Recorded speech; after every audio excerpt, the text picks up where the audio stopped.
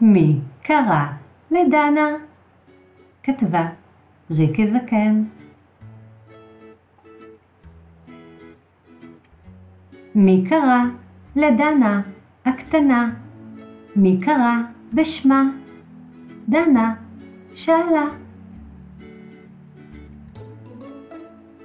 מירי אמרה, אני קראתי לדנה הקטנה.